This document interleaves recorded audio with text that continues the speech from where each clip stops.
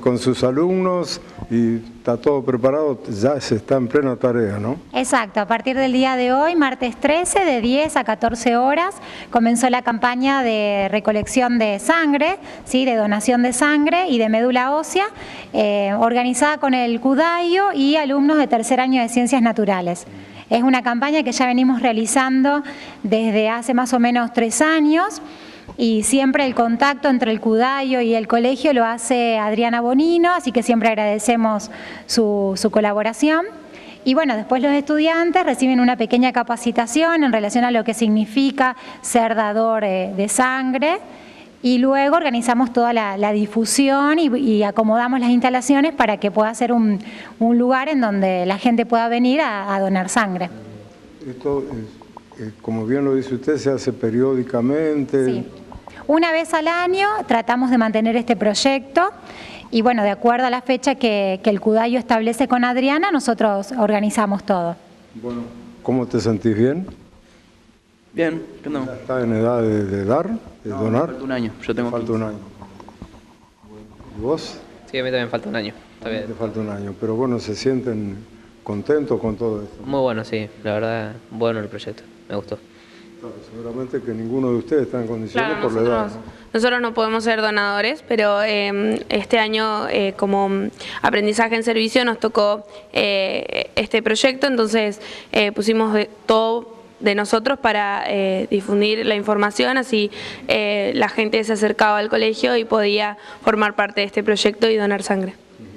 ¿Cómo lo ves? Seguramente que muy positivo, ¿no? Sí, está muy bueno el proyecto y nosotros sí podríamos donar, solamente que necesitamos la autorización de los padres o de un mayor. Así nos decía el señor con el cual dialogamos. Claro, a partir de los 18 sí puedes donar solo sería. Todo, todo. ¿Vos? Eh, contenta con este proyecto que, formamos todos. ¿Cómo se sienten acompañado con la profesora? Re bien, eh, la profe Muri y Bebe se encargaron de de ayudarnos a hacer la difusión y todo eso, así que re bien. ¿Y a vos? No, yo tengo 15, así que no puedo todavía. Pero bueno, estás acompañando a, tus amigas. Difundiendo y todo. Lo entendés como muy importante, ¿no? Sí, es muy importante y más en estos momentos que hay que difundir y explicar a todos. Justamente eso, ¿no? La difusión es lo Sí, difundir por las redes sociales y todo, nos encargamos más que todo tercero. Bueno, vamos, seguimos con la profesora.